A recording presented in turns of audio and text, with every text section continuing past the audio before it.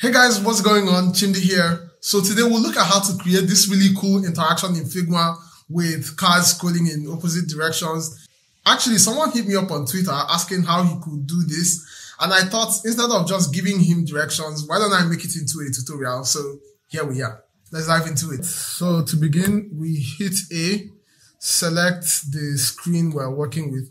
I typically like working with this um, iPhone 14 display. It's kind of like a middle ground. It works for basically everything. So the next thing we'll do here is to add some random text. Um, okay, so add a next button.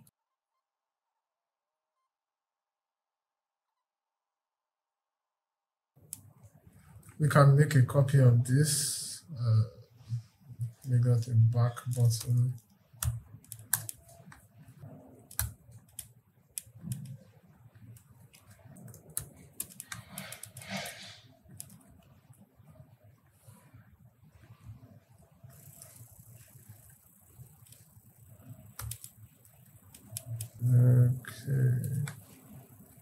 Okay, uh, now to the main stuff while while we're here. So I'll make a small frame. Make this a 36. I think that's cool. Name this image frame. Change the fill. Content reel comes to the rescue. Okay, so select maybe this dude. So we'll just go ahead and make 10 of these boxes and fill them. I'll just cut to when I'm done with that. It's basically the same process, so there's no, no reason to show you.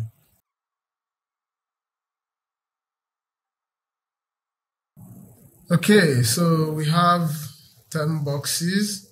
Now, what I'll do is I'll separate them. i have two groups of five boxes. So there's the first five up top. There's the second set of five down here. We can close this now. So the first set is going to go in one direction and the second set is going to go in another direction. So we'll wrap this in an auto layout. Uh, direction one. Then wrap this in another layout name it direction two. So for both of these i'll make them um, align downwards vertically. Now the next thing we'll do is to put this inside the frame. So i'll hit command alt g and that automatically wraps it within a frame and you see the reason why we're doing this in a little bit. I was going to change the spacing, but I think it's fine. We can leave it the way it is. Is you can adjust that when you're recreating this.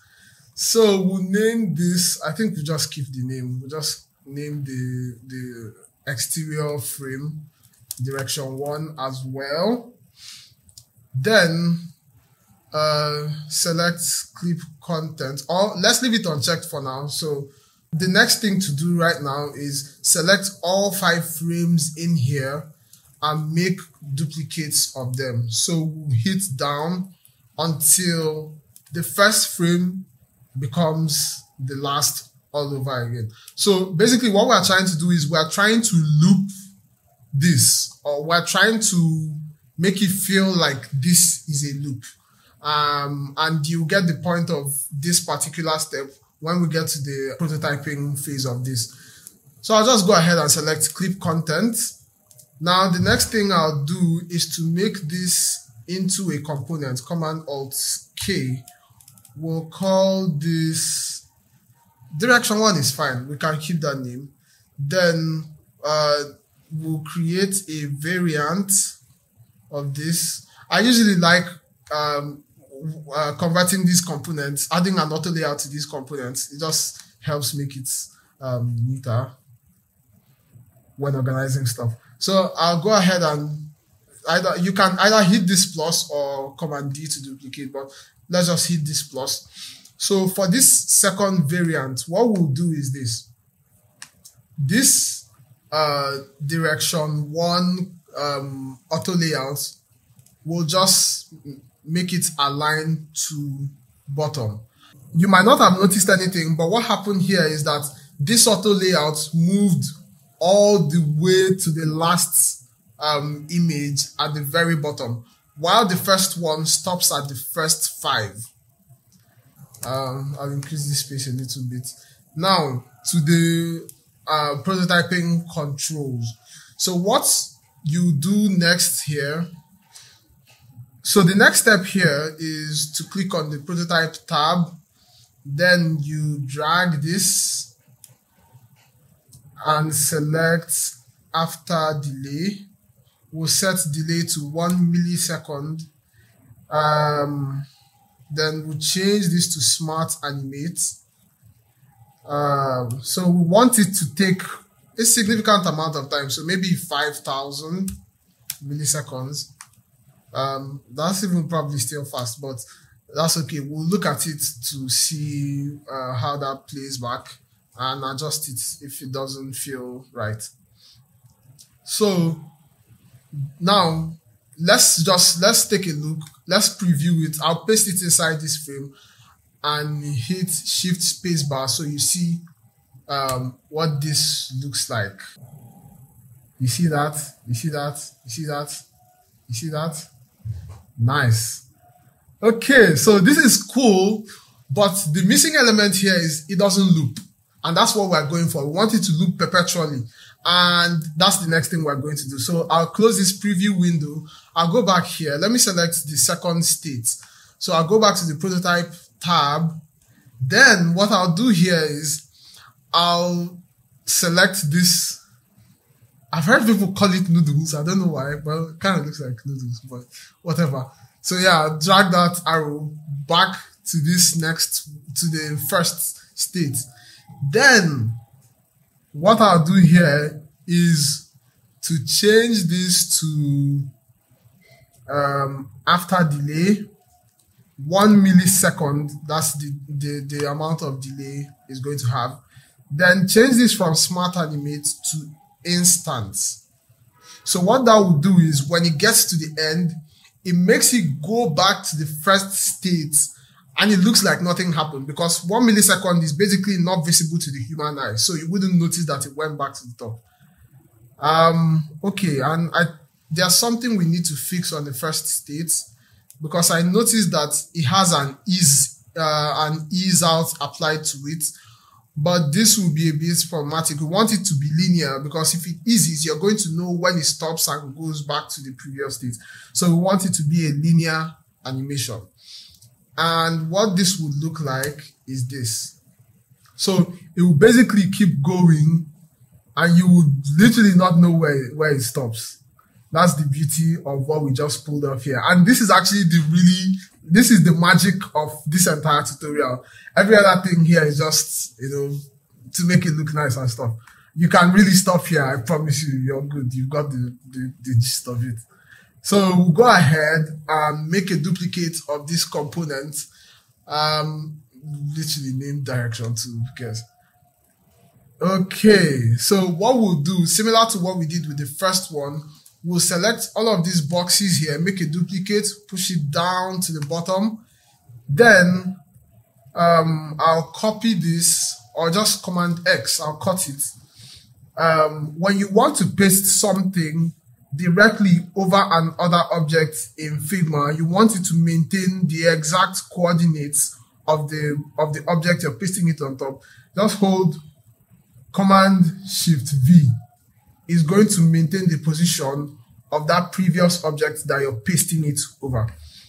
So we'll delete this, do the same thing on this second one, Command Shift V, then delete it. But we have to do one, uh, something else here. So since we want this to go in opposite directions, what we'll do is for this first one, we'll select the auto layout inside and align it to bottom. Then for the second state, we want to align the auto layout to the top. And what this will do is it will make it go in the opposite direction as the first um, component that we built. So let's hit uh, shift space bar to see what this looks like. That's it. That's the magic right there. Okay, so let's make this look pretty and call it a day. Now the next thing we'll do is this. Um, we'll make, okay, let me bring these two out, uh, put them in an auto layout, shift A, call it uh, images comp. Then we'll make duplicates of them again and move them. So we have like little bits of the first and the last one showing at the edges. Um, so that's really what we're going for. I'll make a duplicate of this. I'll name this image holder. Delete all the content inside. So we want to put this image comp inside this frame. Uh, so I'll maybe reduce the height to 700. Uh, so I'll cut this and paste it in here. Then center it using these controls.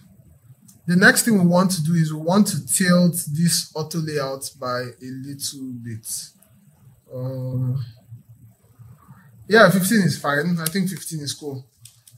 So we actually get that little uh, uh, we have we see some parts of it visible at the two edges of the screen. And that's basically what we're going for. So the final thought here is we're going to create a rectangle. You can use if you so we'll call this gradient. So we'll make this a gradient, make the top zero. I'll move this gradient into the frame, center it, uh, drag it to the bottom. Uh, and duplicate this as well. Shift V to flip it vertically, then take this to the top. Now, this is what you're going to have. And in my opinion, I think this looks great. Really, it does. Um, but I guess I'm a bit of a perfectionist. So let me show you the perfectionist way of doing it. And I think this is beautiful, right? This is fine. So you can use the delay to um, tweak the speed of the of the components of the two different um, components, and you know there you have it. But if you give me three more minutes, I'll show you a nicer effect that you can add to the top and the bottom to make it look even better. So what I'll do here is this um, I'll bring out this gradient, I'll make it a solid, I'll just use the color picker, uh, make it a solid object. So the next thing we'll do is to make two copies of this rectangle object. We'll leave one as gradient. The next one is going to be the blur. And the third one is going to be the mask. Now, what I'll do is I'll select all three of them, hit Command Control M to insert both the blue and the gradient into the mask. Then I'll select this gradient. Basically, I, just copy the other gradients. Uh, so Command Alt T, Command Alt V. Then uh, this block will set the opacity to 1% and we'll apply a blur to it. So uh, change this to background blur and do maybe like an 80. Um, okay, so the mask will change the fill. So I think this would be better if we actually did it inside this frame. So you see the thing changing as we're modifying it. So I'll move this mask into this image holder frame. Now you can see how this looks, right?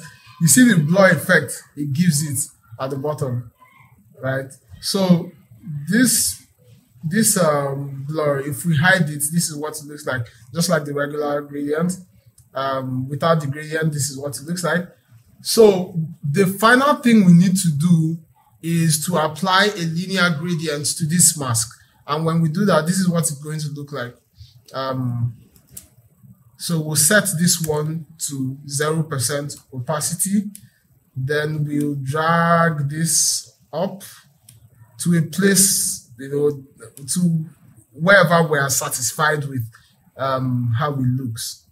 So the thing I love about this particular effect is how the thing falls off, you know, gradually at some point. You know, like it just diffuses that bottom part of it. It makes it softer instead of the sharp gradient that you'd typically have.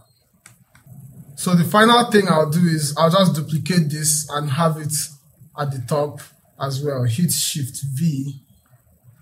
Um, so for this one, I don't want it to be to cover you know a significant amount of the screen. So I'll just move it up a bit more. Paste it right over this one. Hit Shift Spacebar to see the magic we've created. And this is what it looks like. So if you've enjoyed this, um, stick around. This was fun. Peace.